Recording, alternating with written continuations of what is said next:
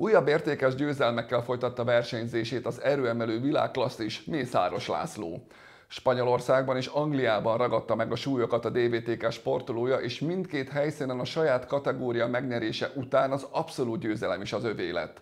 Összegzésképpen elmondható, hogy telnek múlnak az évek, változnak a versenyhelyszínek a világban, de Mészáros Lászlót nem lehet legyőzni. Időrendben haladva először a spanyolországi Astorgában, majd az angliai Nottingham városában versenyzett és utasította maga mögé a mezőnyt a Mr. Olympia címet háromszor elnyerő Miskolci erősember. A Spanyolország északi részén fekvő városban Mészáros László egy világbajnokságon vett részt, és 270 kg-os eredménnyel meg is nyerte azt. Tavaly decemberben voltunk Las Vegasban a Mr. Olympia versenyen, volt egy kis pihenő, és az első versenyen most volt Spanyolországban, Asztorgában a program világbajnokságon. Asztorgáról azt kell tudni, hogy ez az El Camino útvonalán van, egy nagyon szép kis csendes város, a hegyek közt. Maga a Program Szövetségnek én vagyok Magyarországon a promótere, azt is kell képviselni magam ezen a versenyen. Mm, igazából egy felkészülő verseny volt, hogy hol tartok a tavaszi felkészülésben. 240, 260 és 270 kg volt a gyakorlataim, nagyon könnyű volt a 270, abban maradt egy pár kiló, de úgy voltam vele, hogy majd a következő versenyre, hisz rá két hétre már egy másik versenyen mérhettük magunkat. Ez volt a már említett angliai viadal, de mielőtt erre rátérnénk vissza Spanyolországba. Milyen erősségű és mekkora mezőn gyűlt össze ott? Főleg spanyolok, indiaiak. Indiában kevesebben engedtek át itt a vízum miatt. Nyolc ország versenyzői voltak, azt gondolom, hogy a, maga ez a szövetség még annyira nem olyan régi, még nem annyira erős, de próbál a nemzetközi szinten feljönni. Voltak kiemelkedő eredmények is, de még itt a nyomásban azért még picit el vannak maradva. Öten voltunk Magyarországról, igazából mindenki nyert a versenyen, akit, akire nagyon-nagyon büszke vagyok, Kiskati versenyző, 50 éves, 130 kg nyomott fekve, hölgy létére, 70 kg testsúlyjal.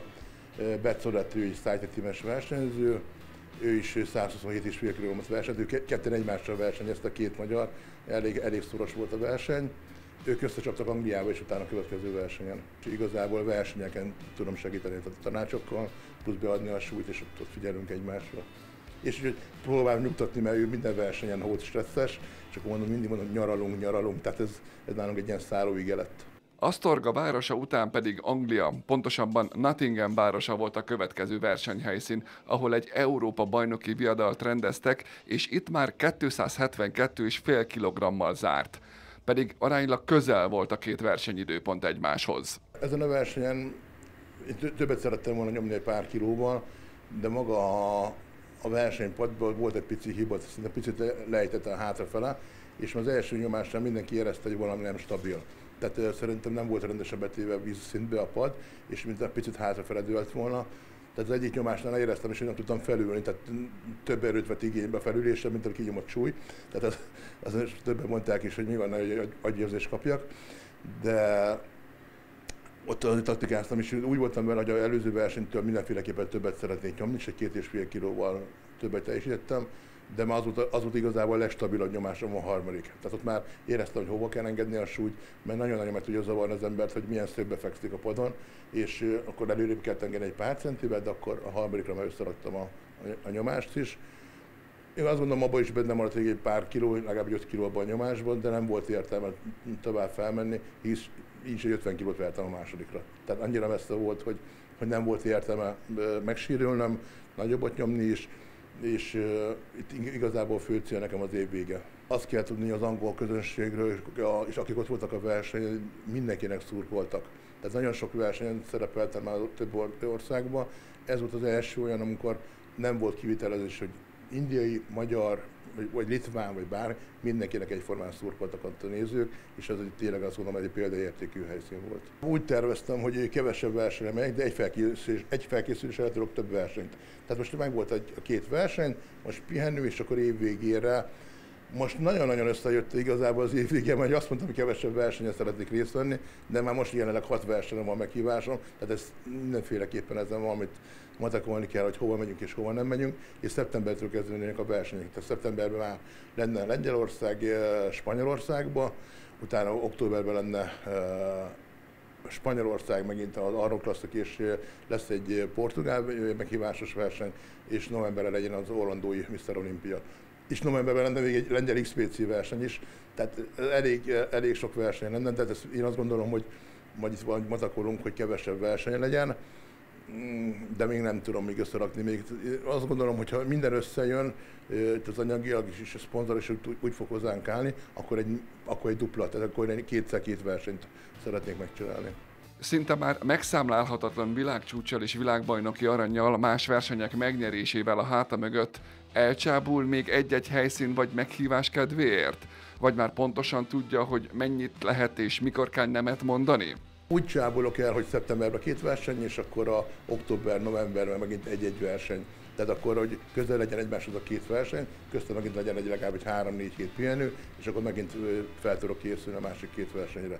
Tehát észszerűen, de nem az, hogy akkor három hónapon keresztül minden hétvégén versenyezni, azt, azt már nem, de e, így a feleségem is mondta, hogy nem ezt beszéltük meg. Így alakult, hát ez a gép sajnos.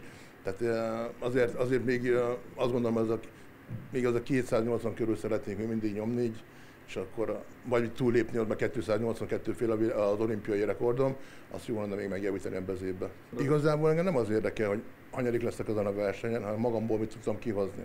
Tehát lehet, hogy én az a 282 fél a második, de akkor is magamból kihoztam a 100%-ot, és és gratulálok az elsőnek. Tehát én mindig azt mondom, hogy nem azt számít, az a, a, persze fontos az első, második, harmadik hely, de magamban mit tudtam kihozni azon a versenyen. És tudom azt, hogy az, én most százszerzalékot beletettem ebbe a versenybe, és ez erre volt elég, és a másik jobb volt tőlem, annak gratulálni kell.